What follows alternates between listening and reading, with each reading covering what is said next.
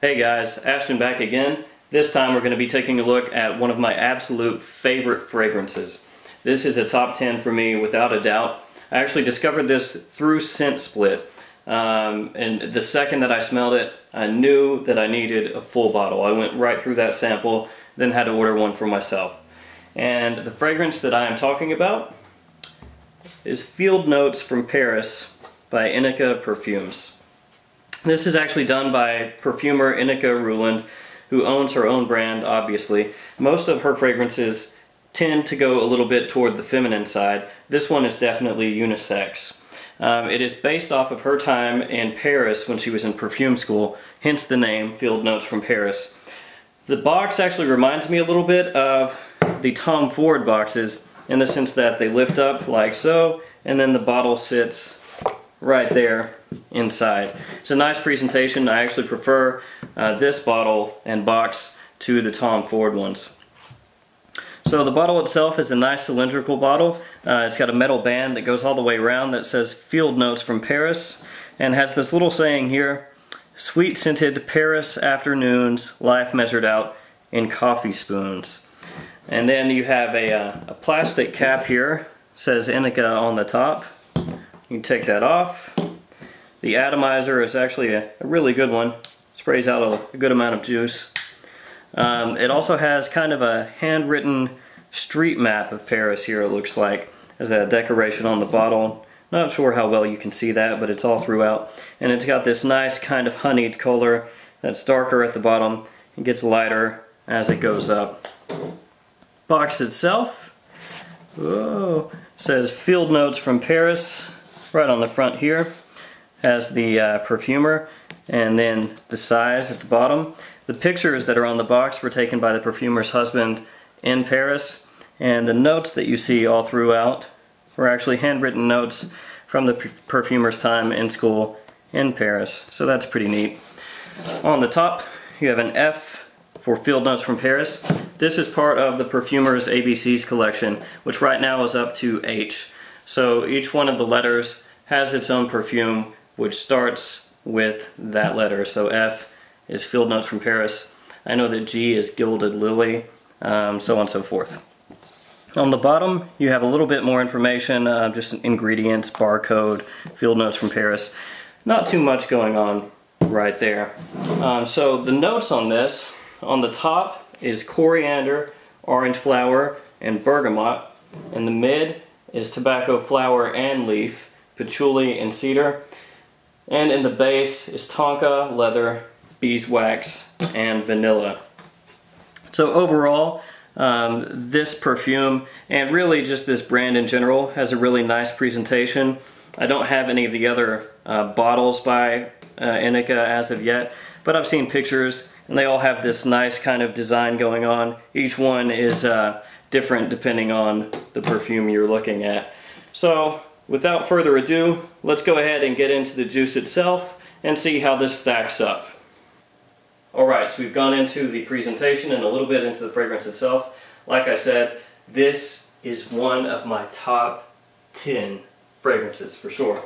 Um, you can pick this up for $95 on Ineke's official website, or you can go to parfum1.com. They have it listed there as well. And you can get 20% off on parfum1.com using the uh, code that they have in the sidebar. So you can save a little bit of money that way. You can also pick this up in discovery sets, but if you want a full bottle, the only way to go is with the 75 mil. Uh, this was released in 2009, not that that matters, but just throwing it out there. Uh, off the top, this is a lot of coriander mixed really, really well with bergamot. So it's spicy, fresh citrus right off the top. Course, citrus never really lasts that long, so once that starts to dissipate, you get into the heart of this, which is where it really, really shines, and that is tobacco leaf, tobacco flower, and a tiny bit of patchouli, um, and a, a smaller amount of cedar. The patchouli is super clean, not dirty, not animalic. It's not out there, it's not like hippie patchouli, anything like that. And the tobacco is just super super nice. It's clean, sophisticated, it smells warm, inviting.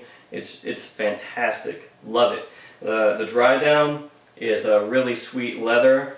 Uh, there's a little bit of tonka and vanilla in there, adding even more sweetness, and then beeswax, which is kind of the honeyed note that you'll get.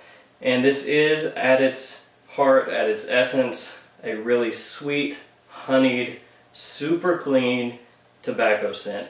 This is not like, um, you know, dirty tobacco. This is not like a, a fruity tobacco.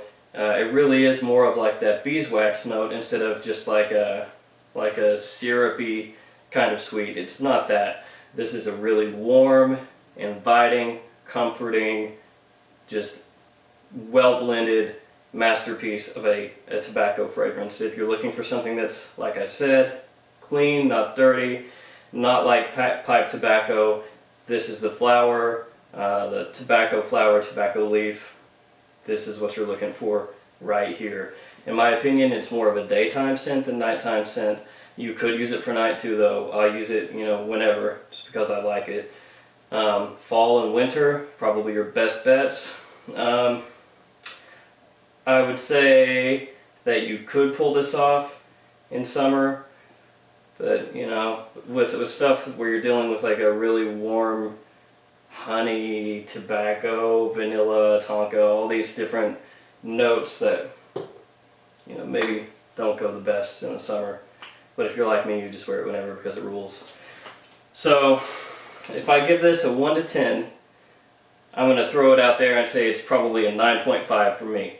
I know that some people don't dig it. Um, I've read other people's reviews where some people, you know, say that they don't enjoy it or whatever.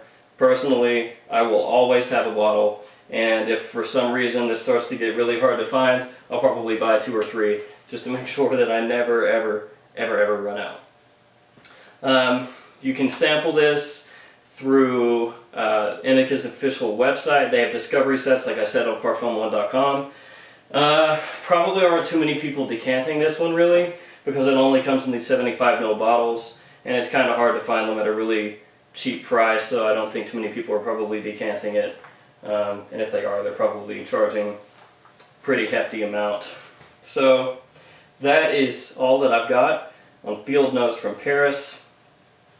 Like I said, if you are looking for a comforting, clean, sweet, cozy, well blended uh, tobacco scent with a lot of honey, beeswax, and coriander, especially at the top, then this is what you're looking for.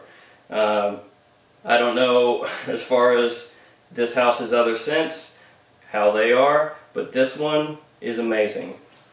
So, as always, like, comment, subscribe, and I will see you guys next time. Thanks.